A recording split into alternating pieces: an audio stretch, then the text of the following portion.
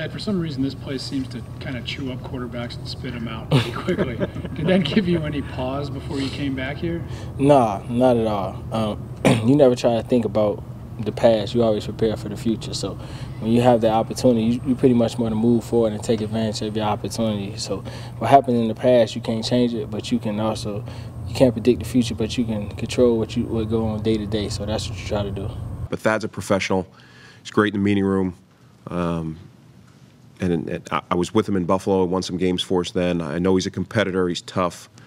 Uh, he'll he'll thrive in pressure situations. So we uh, we're comfortable with with where that is, and um, and because of it's an advantage to him because of Connor first of all, and now Johnny that that he, he's going to get a, a chance to, to to get some some quality reps. So we'll we'll uh, we'll have a good sense of where that is coming out of these next two weeks, this next week really.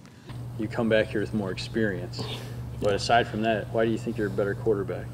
Um, you hit the nail on the head. Experience is, is, is one key, but um, being able to play in different systems and know and be able to adjust and adapt, you know, that's kind of like um, you look at iguanas, you know, they kind of turn colors. Um, they adjust and adapt everywhere they, they at. So everywhere I've been, I had to adjust and adapt. So that's just the thing about it, just adjusting and adapting and taking advantage of your opportunities when they come. So that's what it's all about. I mean, you have to go out there and show them that you're capable of stepping in um, and the offense not losing the beat um, as if um, Johnny or Josh was in there, as if Josh is a starter and you put another guy in.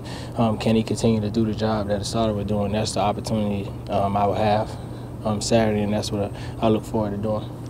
The locker room, everybody's excited. Um, we're competing every day.